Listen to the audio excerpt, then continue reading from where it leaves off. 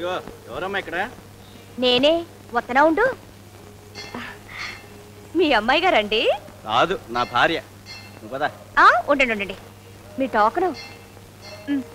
నువ్వురా. దర్శనం గుడ్. ఓ ఫైన్ బాగుందా? ఆ, అట్టాగే. ఎల్లు. హర హర ఏమండి మహాదేవ్ చెప్పులు? ఆ, నావేనమ్మా. ఏం కొత్త? అవును కొత్తవే. అబ్బా అది కాదు ఇటు రండి. ఎందుకమ్మా? ఇటు రండి. మీరు ఈ ఊరు కొత్త? ఏ? చెప్పులు ఇక్కడే వదిలిపెట్టాలి అలాగా? జాగ్రత్త అమ్మా కొత్తవి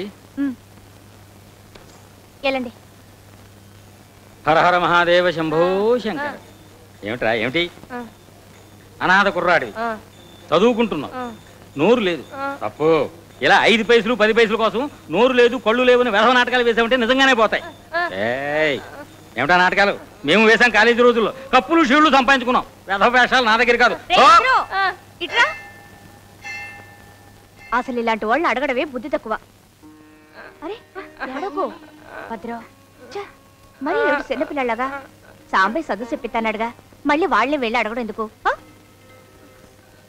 ఇదిగో ఈ రూపాయి ఉంచుకో. ఉంచుకోమంటుంటే అరే ఉంచుకో. వచ్చాక అన్నం తిందు కానీ వెళ్ళి స్కూల్కి వెళ్ళు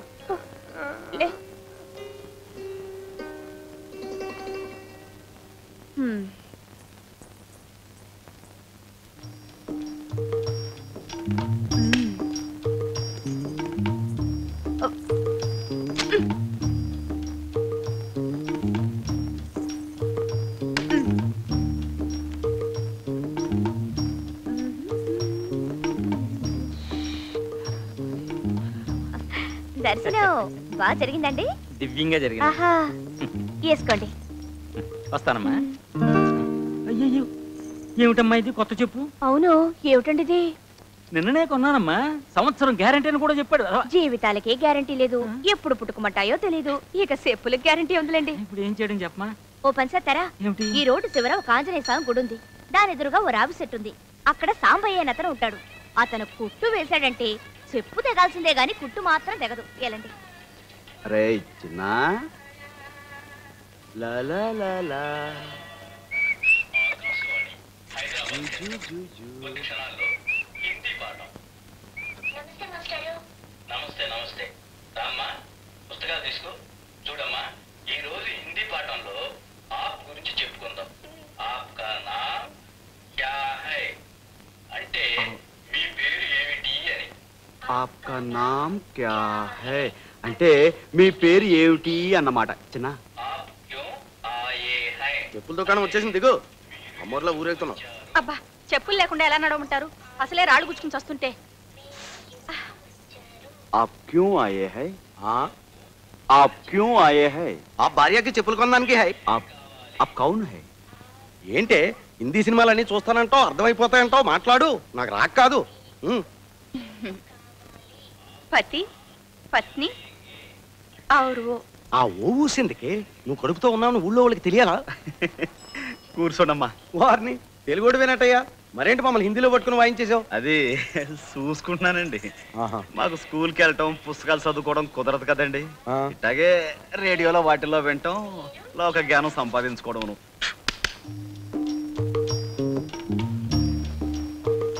ఏమంటే పచ్చళ్ళు ఏమైనా కావాలండి? అక్కర్లేదే చాలా ప్రసిద్ధమైనవండి. అక్కర్లేదమ్మా. సాంబయ్య అంటే నువ్వేనా? అవును బాబు. దీని సంగతి చూడు బాబు. గుడి నుంచా బాబు? అవునయ్యా. కొత్త చెప్పులు కూడా తెగిపోతున్నాయి అన్నమాట ఆ, జీవితాలకే గ్యారంటీ లేదు. ఎప్పుడు పుట్టుకుమంటామో తెలియదు అసలు చెప్పులదే ఉందయ్యా. మా బాగా సెలవిచ్చారు. ఇదిగో ఇది కొంచెం కుట్టి పెట్టవయ్యా ఇది కొట్టాలా? పోవయా అసలే పొద్దుంచి బేరం లేకపోతే పా. నువ్వే పోవయ్యా. ఉమ్, ఆ దీనికి డబ్బులు ఎందుకండి అయ్యా ఏదో మంచి పనికి వెళ్ళి వస్తున్నారు తెగింది. పర్లేదు ఉంచండి. ఇంత మంచి మనసు ఉంటే వచ్చేస్తావయ్యా. ఇందా తప్పకుండా పైకి వచ్చేస్తావు నమస్కారం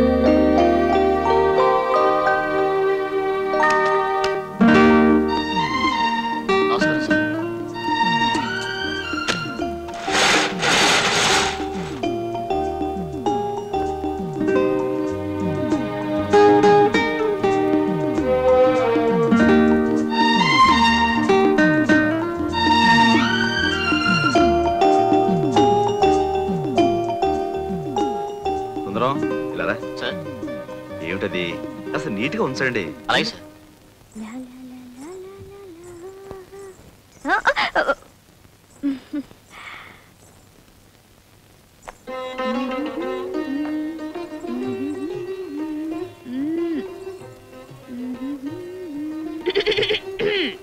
ఏంటా సకిలింపులు?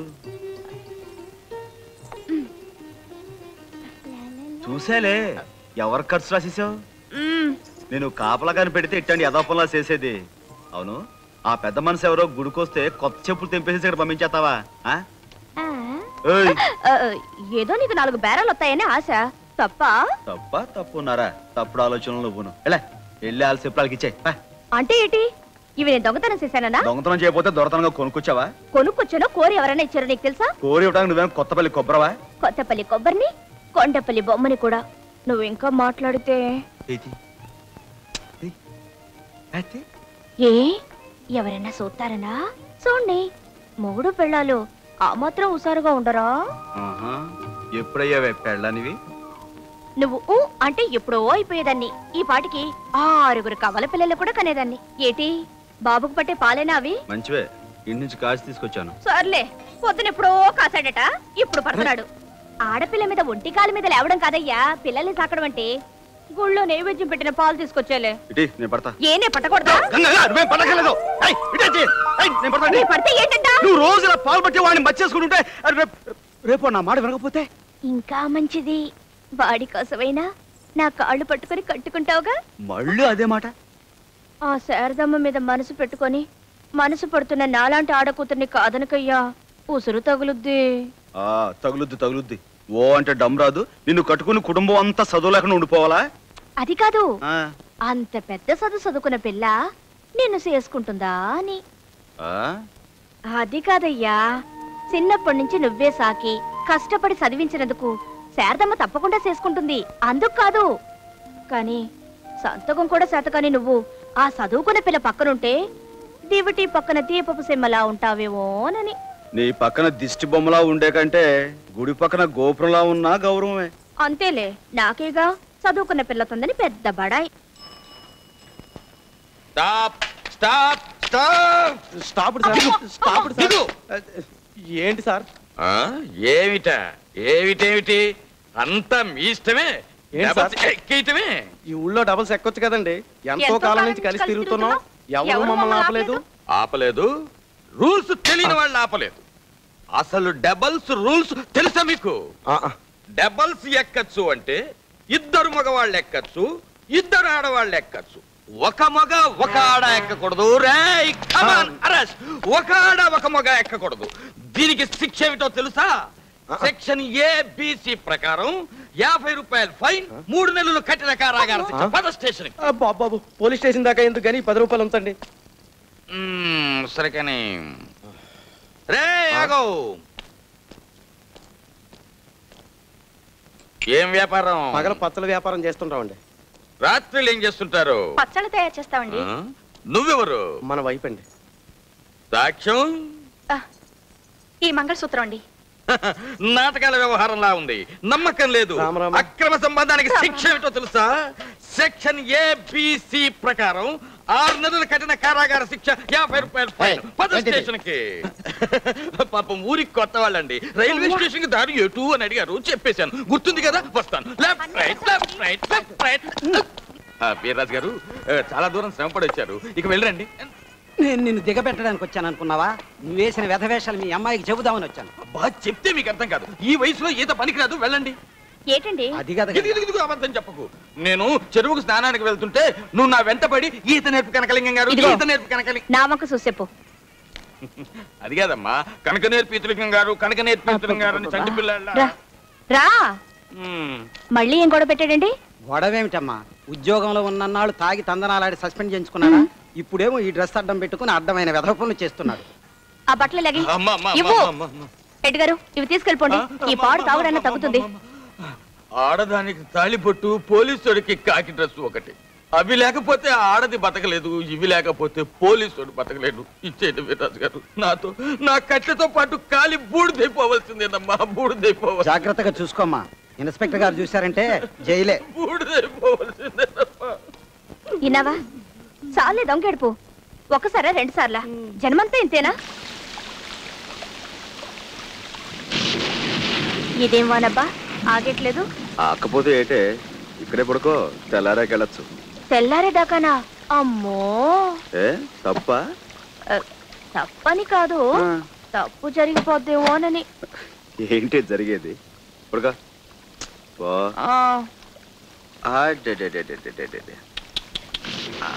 బొచ్చు నాన్న.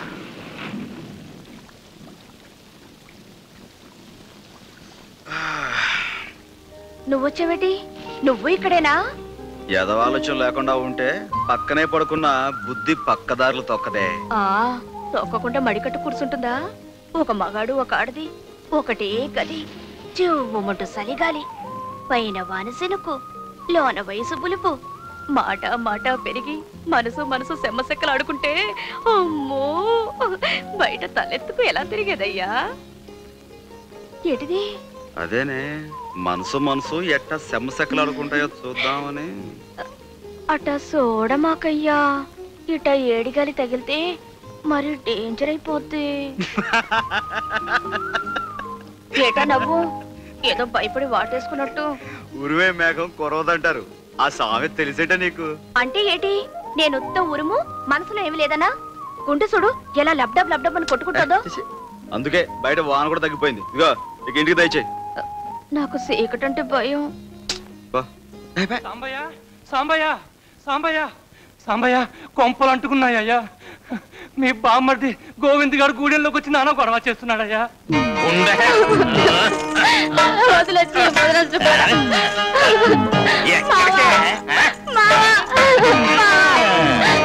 మామూలు పిలవగానే వచ్చేస్తారంటే ఆ ద్రౌపది లాంటి మహాపతివతికే గుడ్డలెత్తే కానీ ఆ దేవుడు దిగిరాలేదు దా, కృష్ణమూర్తిని చూపిస్తా. ఎక్కడ? ఎక్కడ? అరే గోవిందు కృష్ణమూర్తిని నువ్వు చూపించడం కాదురా. నీకు ఏకంగా కృష్ణ జన్మస్థానమే చూపిస్తాను. ఆడపుత్రులు వదిలే వదిలే. వదిలేస్తా వదిలేస్తా. నువ్వు వెళ్ళా సాంబాయితో నా కొడుకు నాకు ఇచ్చేయమని చెప్పు. లేదా అర్జెంట్గా వెయ్యి రూపాయలు ఇవ్వను. పువ్వు లాంటి ఆడి చెల్లెల్ని నీకు ఇచ్చి పెళ్ళి చేస్తే యథవేషాలన్నీ వేసి అది చచ్చేదాకా వదలలేదు. గ్రహచారం బాగుండి నీకు ఉరి శిక్ష పడకుండా చేసి బంగారంలో నీ పెద్దనాడు సాగుతుంటే దొంగరాస్కెల్ ఇప్పుడు ఆ పెద్ద నీకు కావాల్సి వచ్చిందట్రా?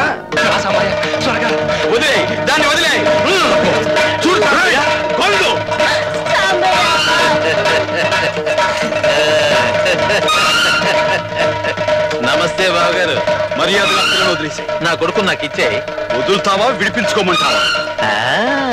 వెయ్యి రూపాయలు ఇచ్చి విడిపించుకో.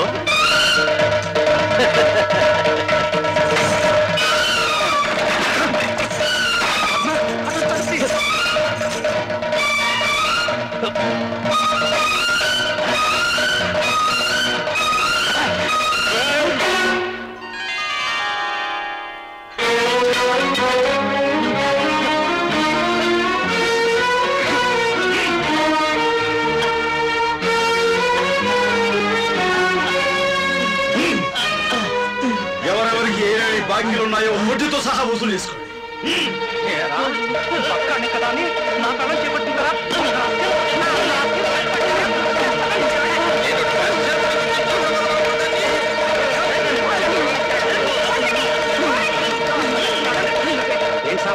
మళ్ళీ గోవింద్ గారు ఏదో గొడవ చేస్తున్నట్ట?